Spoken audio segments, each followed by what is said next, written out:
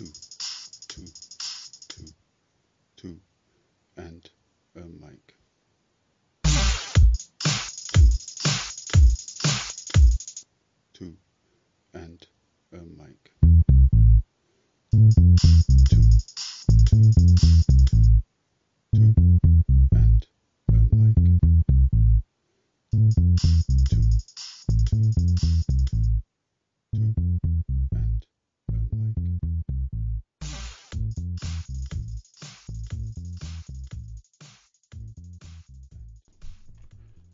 In this episode, I am once again joined by Karin. With her gentle analysis and subtle prodding, Karin places her finger unerringly upon the weaknesses of government and society where needs be, to present an unobtrusive and yet real critique of where we are. Governments must be looked at and studied on the basis of their character and makeup, the time in which they govern, and the events that define their terms. It is no use sitting upon the war horse of democracy and slaying the tyrants about us with the sharpest pen in the land. We need to understand, we need to be clear, and we need to demand. There are a great many things wrong in our world today.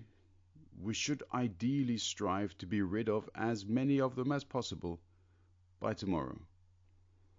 What ensues is a meandering debate with Karin that takes in these issues and also throws in a few important others. Once again, thank you, Karin, for your time and your thoughts and your patience. I am joined again by Karin, my um, ever dependable uh, co conspirator, um, uh, somebody who has remained uh, steadfast in, in supporting uh, this, these conversations and these debates. But more than that, who brings specific uh, dynamism, knowledge, uh, and experience to the argument table. Hello, Karin, how are you? Hello, Zach. I'm fine. How are you? Yeah, And good. excuse my voice. It it go comes and goes. Yeah, that's okay. The, the the background to everything that we do is that you always have a voice, whether it is loud or quiet, is a different Whether it's matter. cracking or not, right. my mind isn't cracking yet. Yes. Not all very far from it. Um, and we are the, um, the, the how can I say the uh, the happy beneficiaries uh, of this fact. So um, yeah, last week we talked a little bit about, well, quite a bit actually, um, about Article 19, um, but also you introduced Article 4 of, of the PEN Charter, which went further into details which will also cover some elements of what we want to talk about today. But essentially, today is mainly about, well, the beginning is actually part one is mainly about the role of government in, in protecting public interests. And um, you know, I will, I will leave that as it is. I don't want to uh, unduly influence people's thoughts on that. Um, yeah, Karin. I mean, if somebody says to you, what is the role of government in protecting the public interest? Um, wh- what are some of the first thoughts that come to your mind? It's um, there to protect the life and livelihood of its people and to manage the interaction among the people. That's to me what government should be and hopefully in most cases is, at least in our uh, world. I don't have uh, high flying uh, ideas about uh,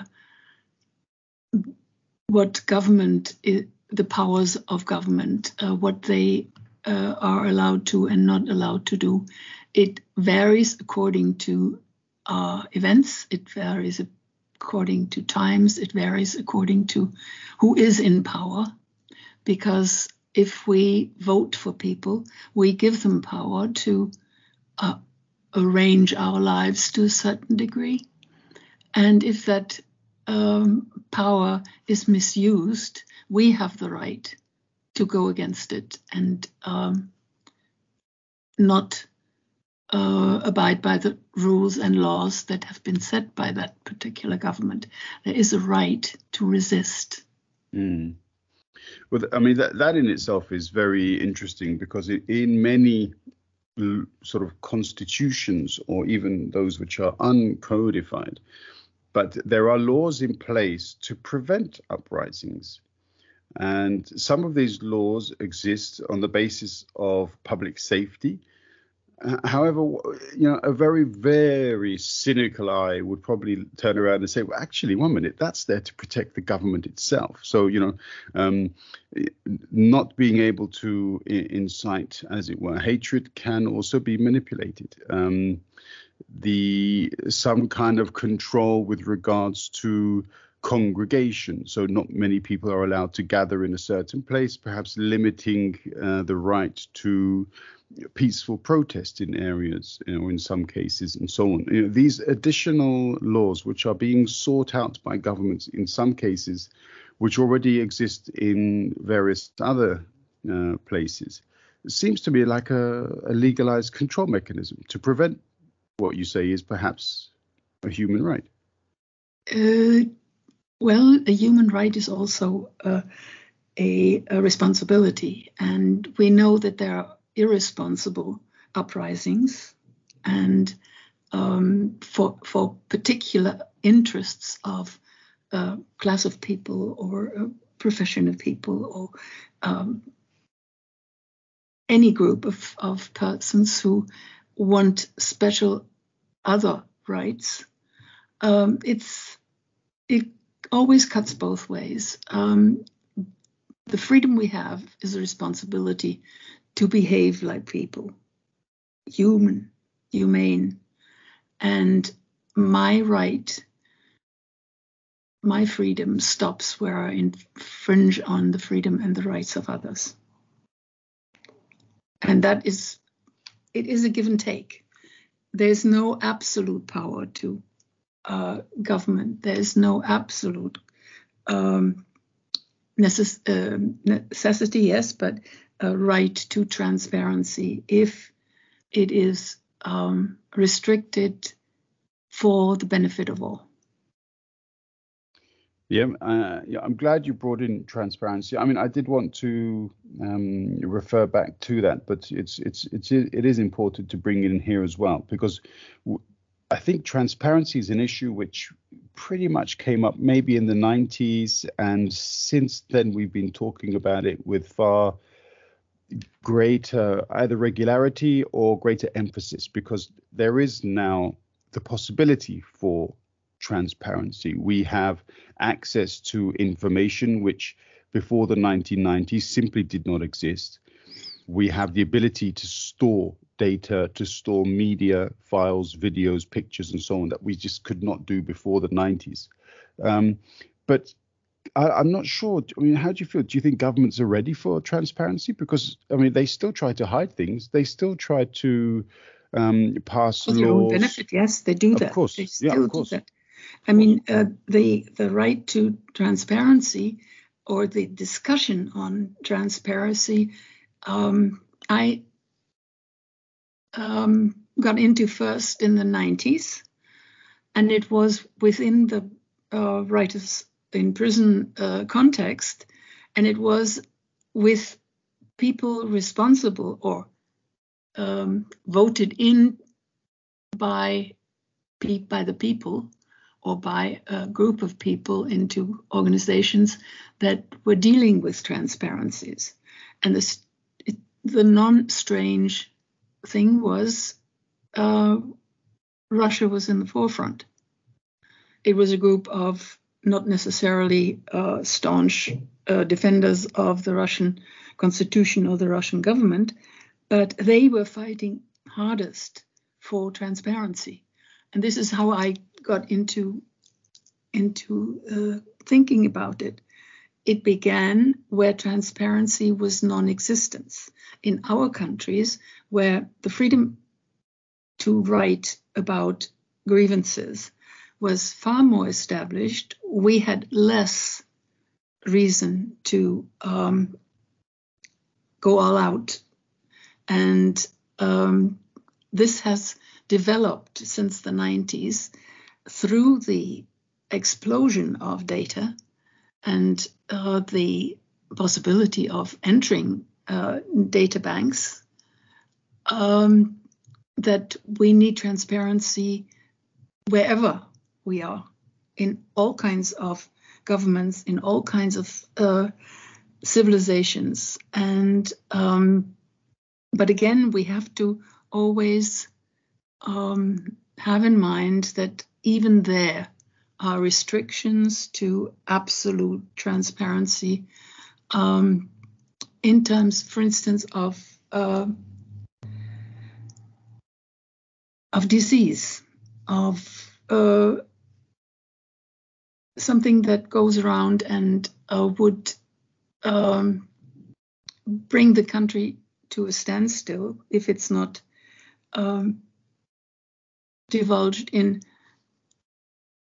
in in intervals or in with sensitivity. And all these things have an influence on where what transparency should be. Is it uh, all out uh, information is it uh, totally free internet is it totally free access to government uh, papers and uh, their discussions or to a private person's uh, inter, uh, interaction with others. Um, it is on so many different levels.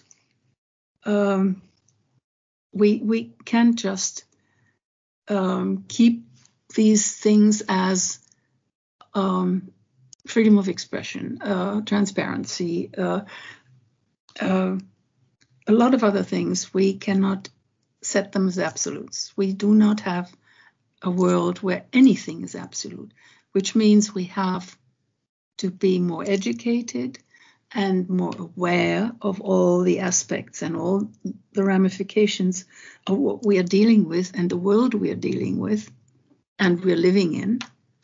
Um, that I'm, as you can tell, I'm hesitant of going all out saying, you know, we need transparency wherever we are. We need it, yes.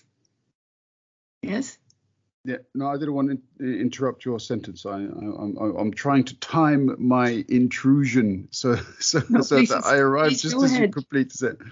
Yeah, no, I was just saying because it's when you say that, I and I'm also referring to some of the your earlier statements.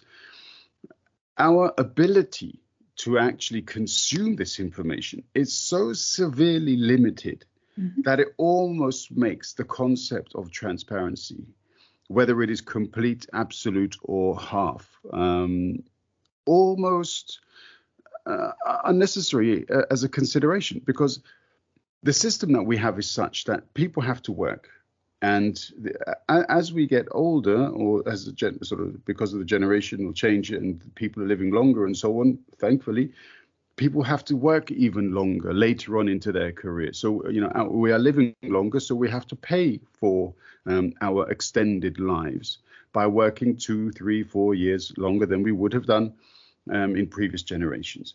What this means is that we no longer have the ability, maybe we never have had uh, the ability. Had.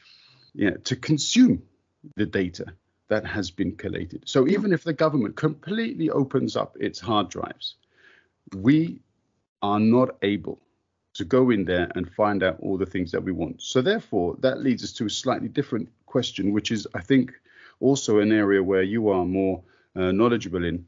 Um, the the importance of writers, researchers, and journalists, because these are people whose careers are based on the ability to go into a situation, whether that is physically or whether that is jumping into a data library and doing the research themselves, pulling out what is necessary and creating a coherent line of thought in either an article, an essay, or a book, which people can then consume in the evenings when they are at liberty to do so does, does is this is this sort of extremely long-winded question? That's uh, but yeah. that's that's a very important uh, question. It's it's not just a question; it's a statement, which I fully agree with because my next sentence was going to be: since we cannot um, work with all the data that is around us, or nobody can, nobody ever has been able to, uh, even in uh, with the data that was available 2,000 years ago, they did not, there was not one man or woman who could really analyze and come to a conclusion about the whole of it. Um, so we need representatives to go in and analyze what is around us. And these analysts, in terms of uh, data and um, political, um, I nearly said, would say, uh, shenanigans. Um, we need the journalists, we need the press, we need the media. At the same time, um, they are people and they have their interests. And how do you balance? How do you check on those who know more and have more access than you have? um, I don't want to be left in the lurch because I don't know everything.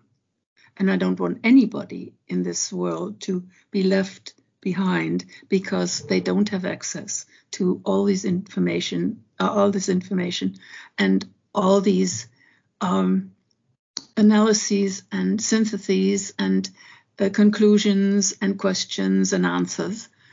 Um, we have to be able to rely on decent, informed um, representatives who do that for us. But we also have to have some way of checking on them.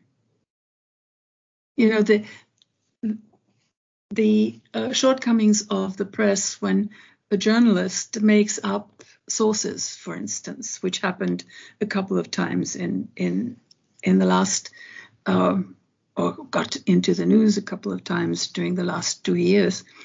Um, they were once they were found out, they were um, sidelined, yes, but all those people who had believed what they had said um, were betrayed. And could that have been prevented? This is what is there is there a medium or a uh, organization that checks on those who gather the information and analyze it and bring it back to us in concise form. Um, is there anybody who can check on them? Because I don't want the government or the government uh, strata to be responsible to check on those we asked to represent our need for knowledge. Yeah, I, I, it's also very telling, I think, that we we are still incapable of putting together uh, a correct. I want to say the word unbiased, but as you suggested yourself, the, the term doesn't really have a practical application in this case. But as much as we can get to having an objective analysis, picture, perhaps even just of, of our own history, let alone what is happening today, which happens at such a fast speed that we, we aren't really even uh, capable of understanding all of the complexities of it. So, you know, the withdrawal from Afghanistan, we've got people talking about, you know, how did you leave these people behind?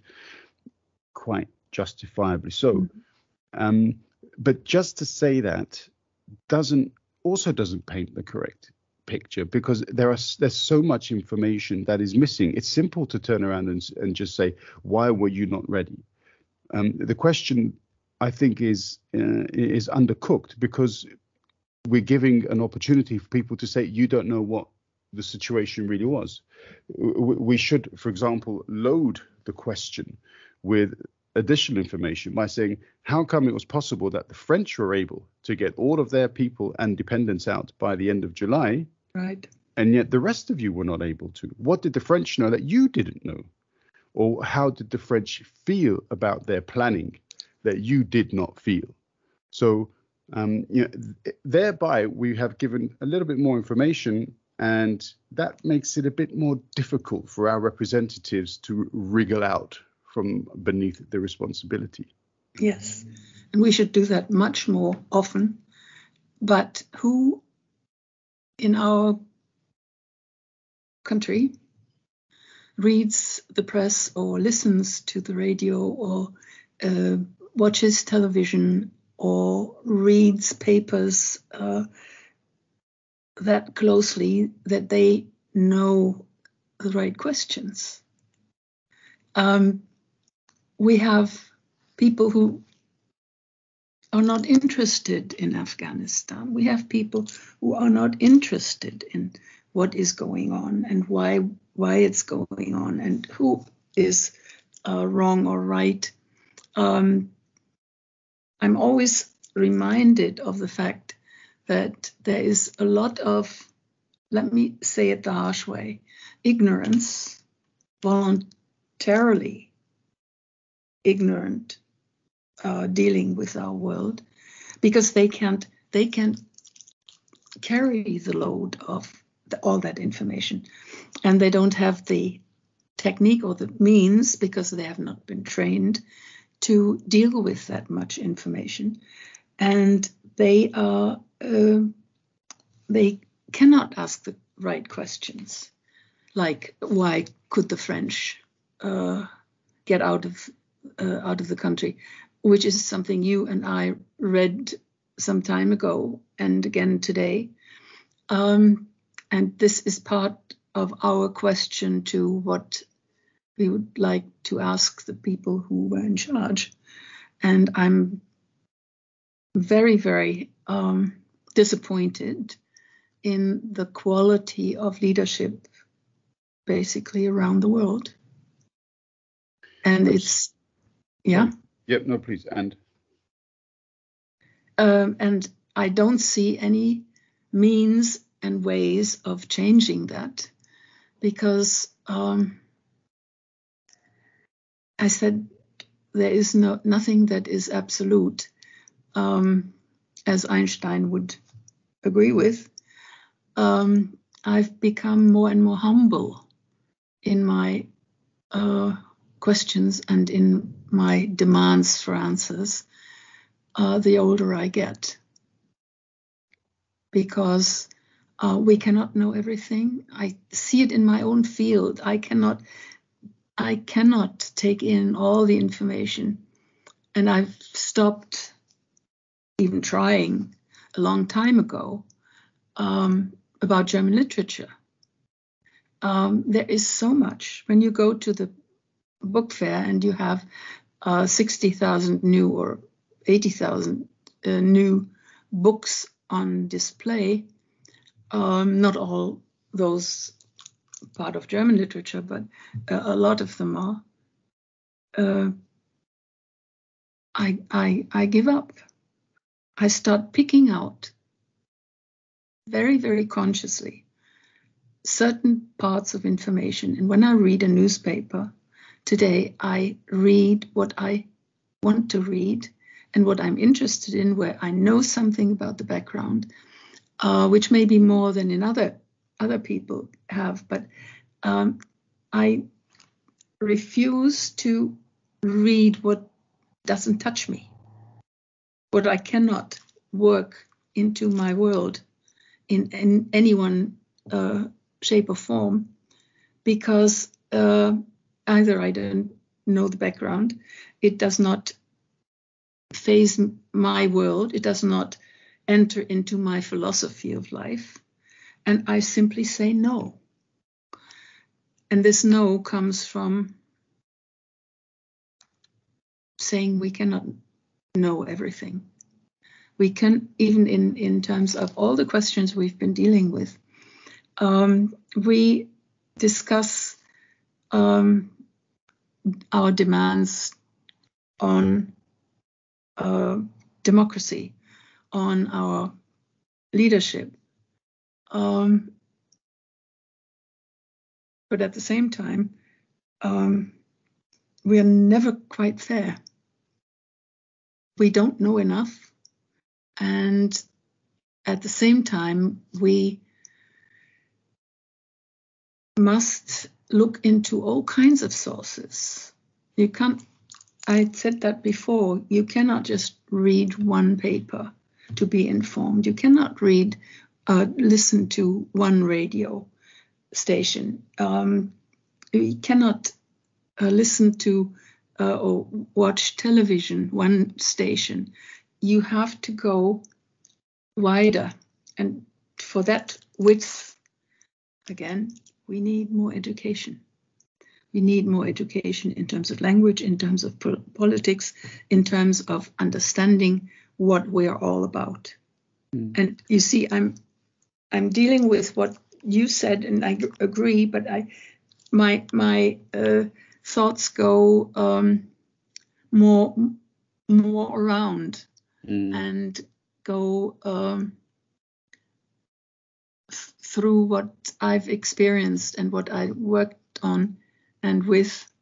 Um, they go into sometimes into into width that uh, into into breadth that uh, scare me myself because I touch on them and I can't analyze them. I cannot uh, explain them. And and yet by doing so, you were still uh, showing or, or, giving us a window uh, into activities which you conducted within your your career, working with PEN and also um, yeah, your other organizations, where normal or your average person perhaps wouldn't have uh, the ability to see what was happening, and so therefore consider the issue from those perspectives. Um, yeah, another interesting aspect of, of the conversation is also the inclusion of different um, genders within the topic. So yes. normally, when we talk about the control of information or um, domestic policy, this is very much conducted by conservatives, I should say, with a small c, uh, because you have conservatives with a small c on both sides of the political divide, but generally men. Mm-hmm. It's it's there is perhaps a very strong argument, and I'm I'm saying perhaps because I don't want to throw in um, another absolutism.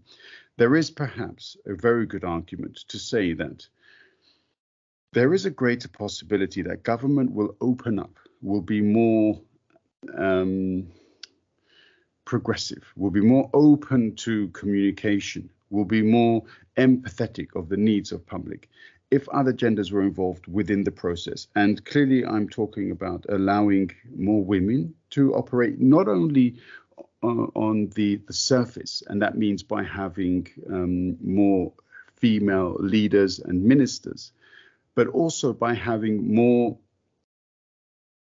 genders represented within the entire civil service, which I would imagine still remains very much dominated by white men. Uh, I give one example, which I recently came across by seeing a documentary. I think it was created by ZDF, um, and it was about. It focused on Taiwan's new digital minister, Audrey Tang, who is a transgender software programmer who has become the digital minister with the the main target of making government in Taiwan open. Mm-hmm. And, and and I mean I find it fascinating that you know a we would have a, a transgender minister in Taiwan, um, and b that the one of the main targets of of this minister would be to make government more open. And yes. why is it that in Taiwan uh, this is a perfectly manageable situation. And yet, I, I don't recall a single transgender minister in the UK, nor I believe in Germany. No, you are wonderful because you're concrete.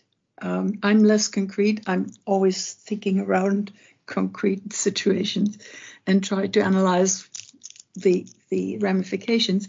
Um, I look at the young generation of girls, young women, women who are 40 and 50. And I'm so happy that they do not grow up with the uh, self doubt that I grew up with. I was super shy. I did not dare, even uh, outside of my family and my group of friends, uh, to venture out and do a lot of things. And this has followed me throughout my life. But I see now that the next generation has a simple, nor, a natural reaction to here we are. Come on, deal with us. And the younger they are, the more, um, the less restrictive they've been brought up in most parts of Europe, I know. Um, and I'm very proud of the fact that this is happening. During the time when I was young, I did not even think of going into politics. There were two or three, four, five women who came in and were uh, accepted by the male society. Um, it's not the fact that there are more um, heads of state now, or heads of government, who are women. I think um, in all our countries we need diversity in in the most wide in the widest sense because we need people from all backgrounds. We need people from all sexual um, uh, gender uh, diversity. We need people of all ethnic background who live with us in they live with us in one country. We need the diversity more bitterly than ever before because without their support and without their knowledge and different experience, how is anybody going to govern our country? They have to be allowed to be more vocal and to be more participating in all uh, stratas of uh, government, of public service, and particularly of education. Which which does also beg the question about the transparency which relates to the decision making process. Now, we have often heard the word or term quota yeah, I suppose in Germany, Mitarbeiter, as in, you know, th- this is somebody who works with us because of the quota. That's the only reason. It's a quota, quota Frau. Yeah, I mm-hmm. think uh, I've heard a couple of times yeah. say, um, which it's a completely ridiculous term to throw at something. But anyway, if you've got one woman among six, um, all of a sudden, um, there is a term to criticize the woman's presence. I mean, it's unbelievable, isn't to it? To exclude just, her again. Yeah, exactly. How, how ridiculous! Anyway, it doesn't matter. You know, don't, I don't want to get uh, carried away with that um, on this particular point. The issue, however, is that it's obviously much more difficult if you are the one among the seven. So this is the individual upon whom the the future trail or pathway for women and for other genders to follow has to be blazed. So um, if there is a woman who sits on the on the on a board um, of directors of a certain organization, there is so much pressure on her um, to, to, be able to a do the job that uh, she's there for, and I, I, have no doubt that there is absolute ability in that person to to be able to manage the job. The problem is having to at the same time deal with all the little piranhas uh, which are nibbling at her feet uh, as she tries to go about her daily tasks. If we can remove all of these, if we can actually go into the nitty gritty of the decision making process, why is it that it is so damn difficult to open up the, the corridors of power to diversity? Why do these people want to keep control of those damn dark corridors for so long? I mean, they've screwed up so much. What is the point? They will say we never screw up anything and we have to defend ourselves against the next uh, white male that's standing there to take our job and take our power. Um, it's the competition among the men that, in to a large degree, um, does not allow women into the into the group, into into um, it does it's not sufficient if a woman is elected to some position or is uh, voted in to uh, deal with with uh, important part of uh, a company um, she is not just the outsider because she's a woman. She is the outsider because she is not a man. Because the men among themselves have such difficulty of really team working. The, the only real teamwork I've ever experienced was with women.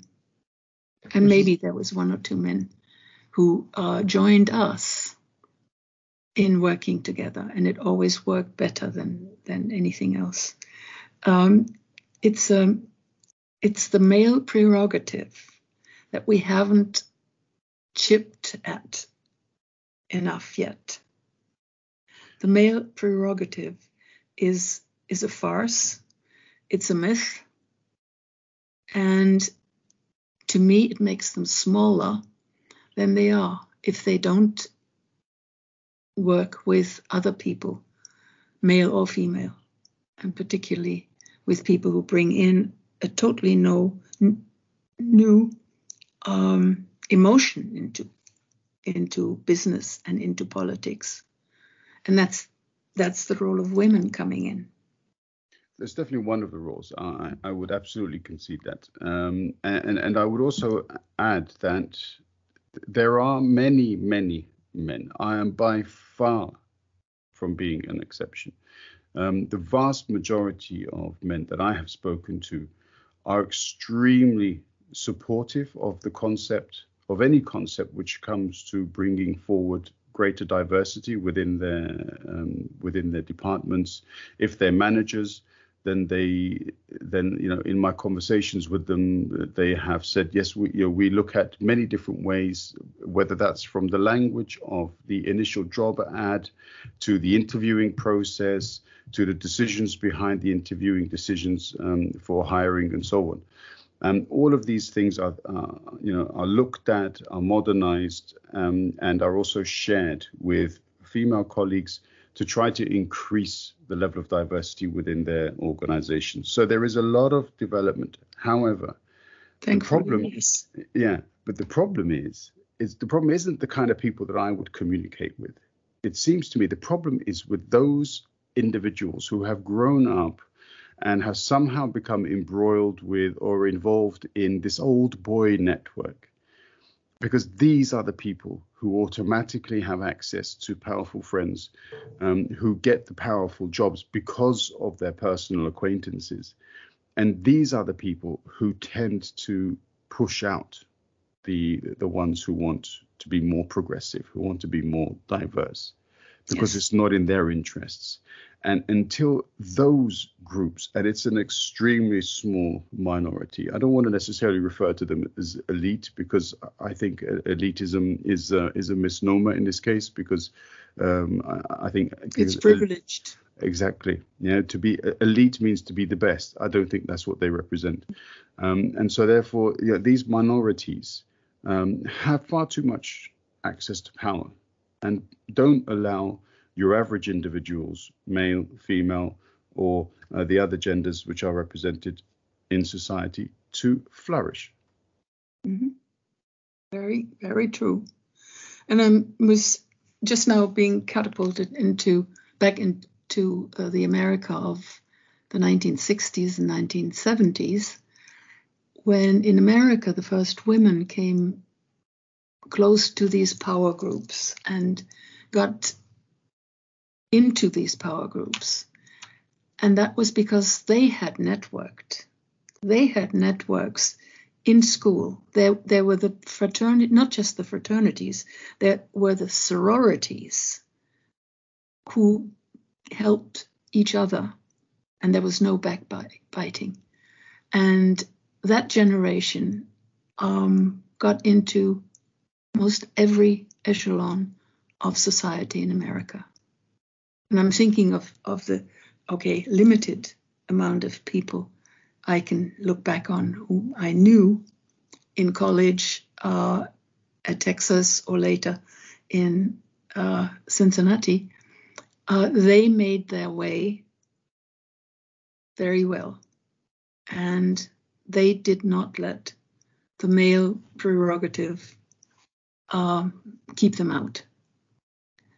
Um, so it is also a lack of networking among women in our society. There's no no sorority uh, at the university here, um, where people can make these connections.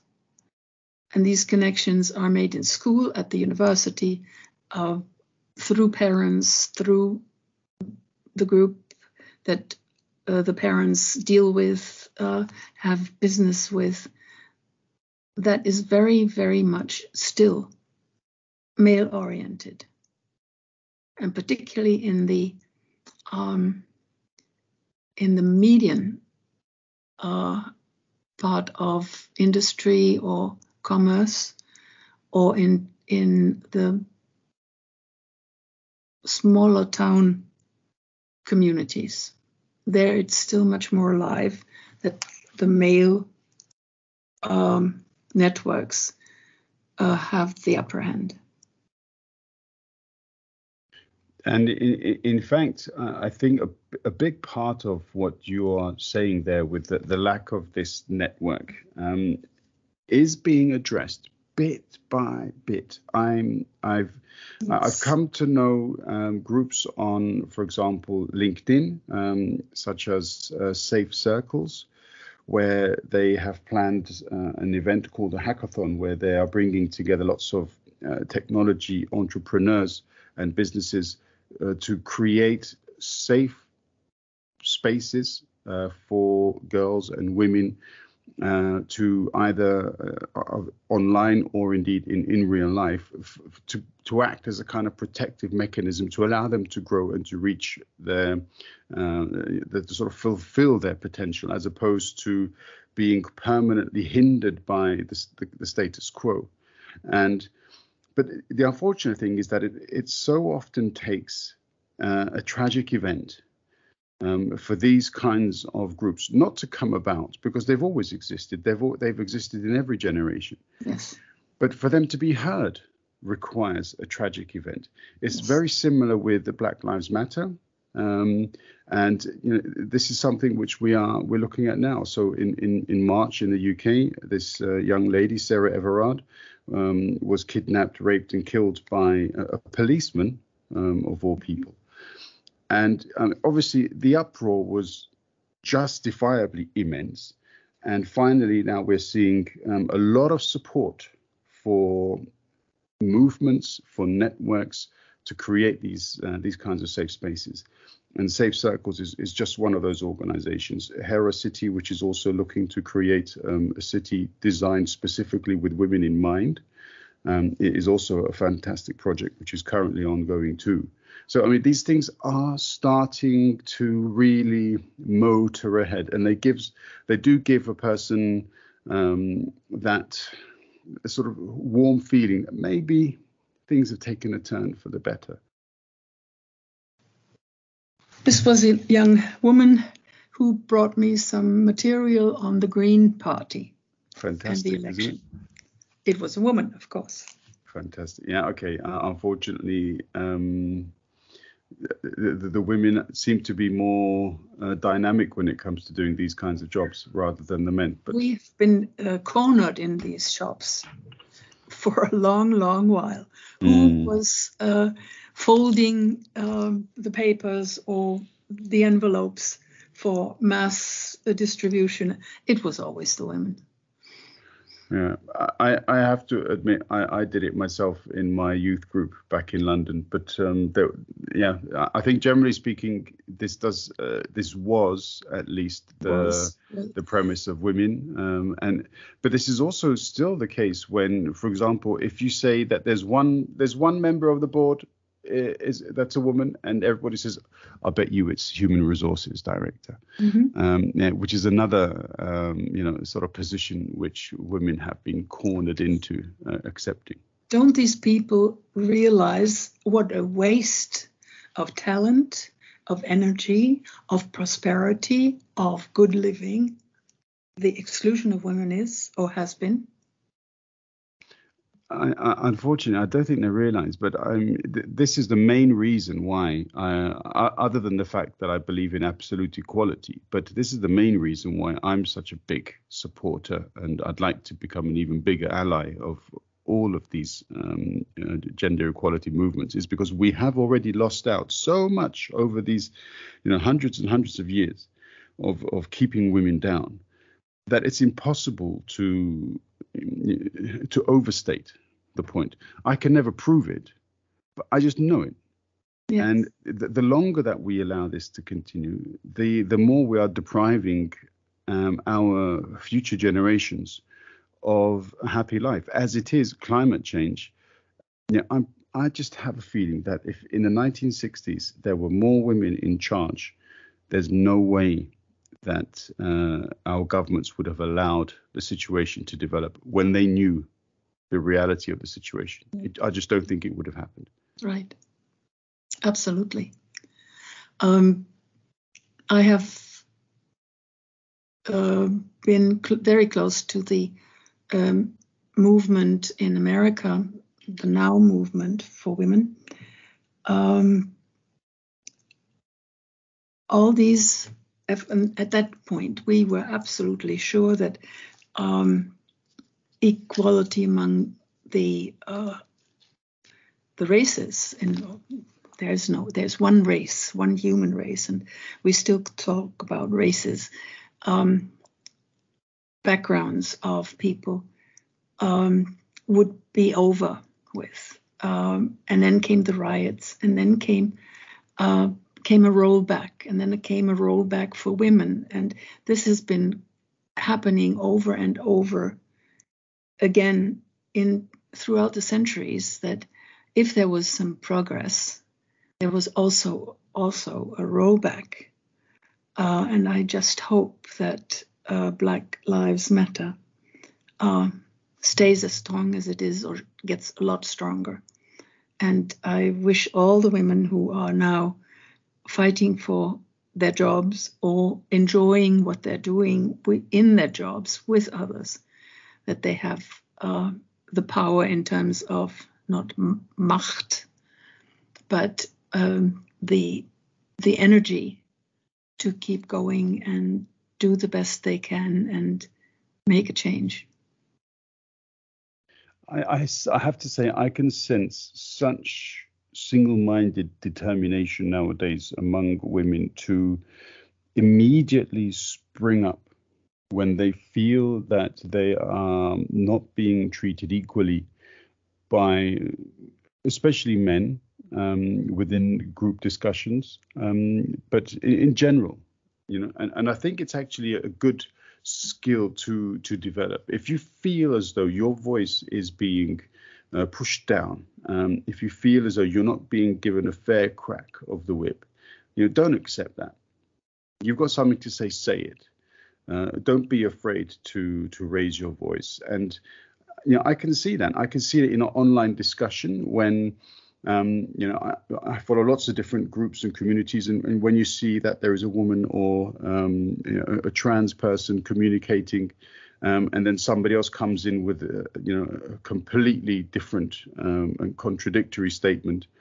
They refuse to accept it. They don't of back down and say okay okay and stop writing. No, they come back and they say no you're wrong and this is why you're wrong, and it's so refreshing to see that because it wasn't always the case. No, because uh, we didn't have that uh, communications uh, network uh, that is possible today um, we were fighting uh, basically uh, excommunicado. We, we fought for, with a few others. Our, our range of support was not there. And um, it the the uh, networking online is so much faster, so much more encompassing, and at the same time, it's dangerous and it's beneficial.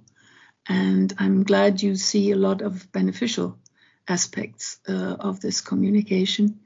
Uh, I stayed out of it, I must say, uh, totally, uh, because I uh, didn't think anybody needed my information or needed my input, and I wasn't ready to go on fighting. I was I was tired of fighting because all my life I had um, through the shyness that was ingrained in my being. I hardly ever fought for myself. I could fight for others, but I couldn't fight for myself. And I've been through um, working on a book for, for a professor for a year and seen my uh, name uh, next to the secretary who painted who, who typed it. I've uh, seen um, people um, present my findings or my uh, input uh, as soon as a television camera was in in sight on site or uh, a mic was nearby. It was always um, a choice in one way and a lack of I don't want to make a mess. I, I don't want to make a fuss. But the main choice was if they presented what I had worked on and come uh, uh, to the conclusions I'd come to, if they presented them all right, it it was fine. It was always the the the work for the people. It was always the um, it, it wasn't because I had done anything. It was that something was done for those who needed it most. And this is uh, still um, part of my makeup. Yeah, I, I I understand that because I think we are quite similar in that characteristic. This this the the understanding that the work is for the benefit of the community and as a result, our own personal ego doesn't really factor into the, the, the argument. The important thing is the work that we do. You know, are we committed to the work? It's not a question of reaching uh, a certain level of status within the organization as a result. I, have come, however, around a little bit to to seeing this as actually being uh, a very short-sighted approach. Because if we are willing to allow somebody else to steal our concepts, our approaches, methods, ideologies for their own aggrandizement, then what we are essentially doing is allowing the community to believe that the person who stands before them is a sincere, committed member of the team who's working on their behalf. But really, we are complicit in allowing a deceiver to maintain a platform they should not have. Do you um, see what I um, mean? I, in... I see what you mean. My experience is that they um, disqualified themselves uh, th- throughout their operations, that everybody saw and uh, realized what was going on. Even the people who had um, had brought the mic and were uh, interviewing him. Uh, it was usually a man. And um, at the same time, um, I never felt that uh, I was looked at as second best when when we came out in the open because most everybody knew they knew the method, they knew the person, and they knew who was doing what.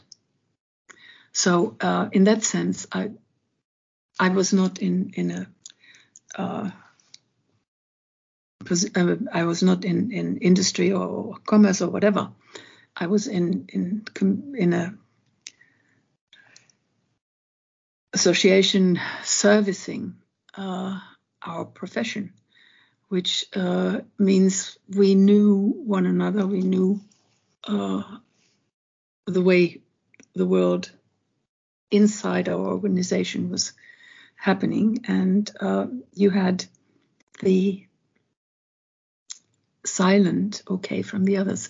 That's that's a different thing than being out in the in in the rough world of of making money. But uh, no, I I do regret, yes, that I could not be much more forceful uh, or wasn't much more forceful. But I went the other way. I went, I call this, called it, uh, if I can't do it above board, I do it subversively. Mm. Um, I went around these uh, these mechanisms uh, to get things done the way I wanted them done, and there I was relatively successful. And in that sense, I'm satisfied. Yeah, good. I mean, I, I wouldn't want to in any way, um, yeah, inspire within you any sentiment no, of regret no. because I, that's not fair. The point that I wanted to make was not for uh, any supposed mistake that you may have made. No, no, I'm. I didn't uh, uh, hear that either, mm, and I I always no, no, no, no. Come on, we trust one yeah. another, don't we? No, no, of course. But I'm referring um, to mistakes that I made personally with regards to that. And again, I don't regret it because I think that I made those mistakes for the same reasons that you would have made your decisions, um, which were for the benefit of the community. My only concern uh, in voicing the opinion was that you know whoever hears this, if they are in a similar situation, you know, it's not a question of ego. Absolutely, speak up. It's not a question of ego. You're not promoting yourself. You're promoting the right approach to the people who need it. Right. And, and that's the issue. It's not the person necessarily. If the person before you is capable of doing the job in the right way and you are um, convinced of this fact, then of course there's no need to speak up if you don't wish to. But if you see that uh, what they're doing is actually contrary to their real values, their secret divisive values, then jump in there, let them know, create havoc if necessary, yes. but get get them the hell out of there. I think among the two generations of women that are right now around you, you also see the difference between uh, the older generation more shy, although there was no need to be shy or to uh, stand back. And the younger generation who knows very well what they are worth. Mm. And uh, I'm very, very happy about. I know, I know the people you you are with, mm-hmm. so give them my love because I think uh, they're the the differentiation or the the promotion of self esteem from one generation to the next has worked as well. Mm. Yeah, I believe so as well. And uh, in, in, fact, that tr- the transference um, of, um, you know, not necessarily saying don't be like me, but the transference of communication meaning make sure you are more you. Yes. Um, and I, I, do think that is a you know, that that was a powerful message which has been well received by the individual that you are right. referring to right. indeed right.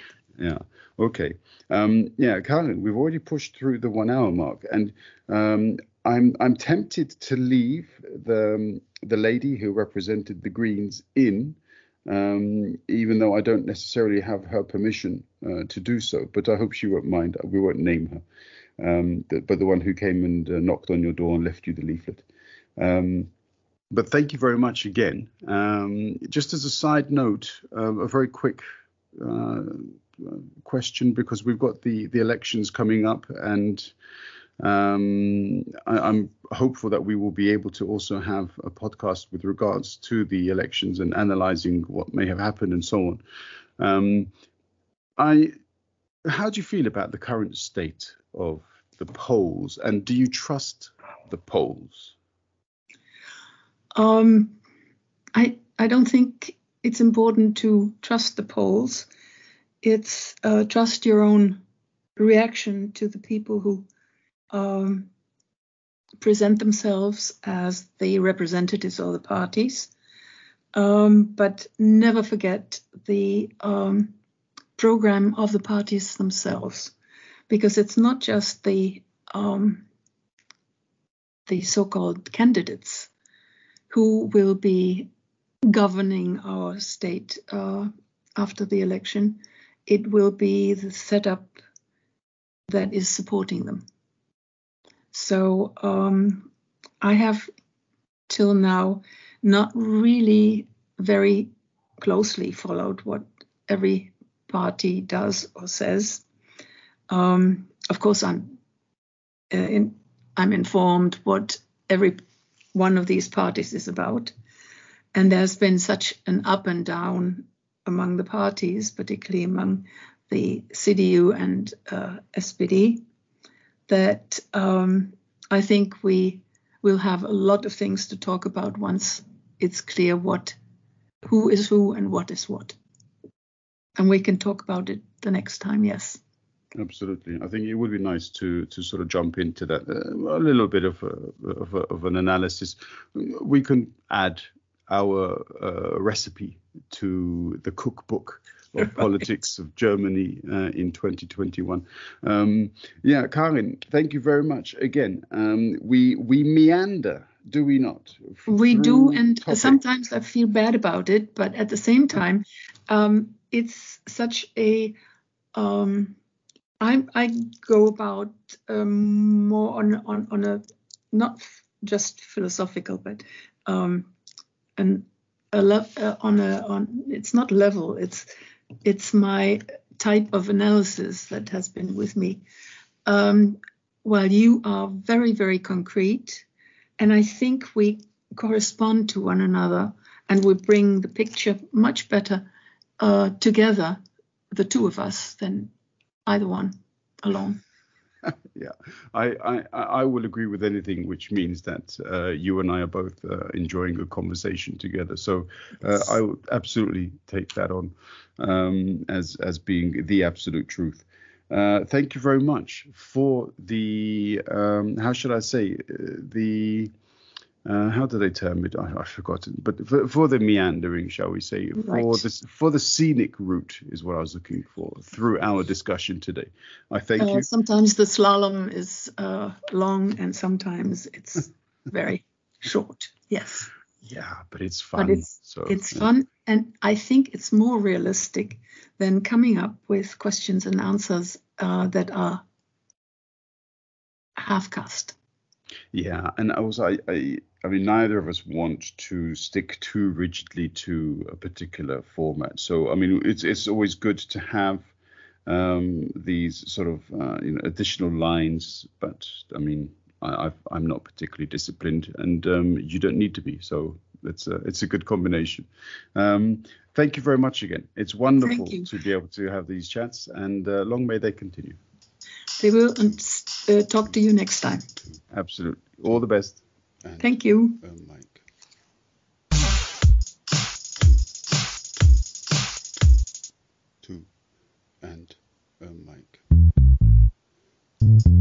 Two, two,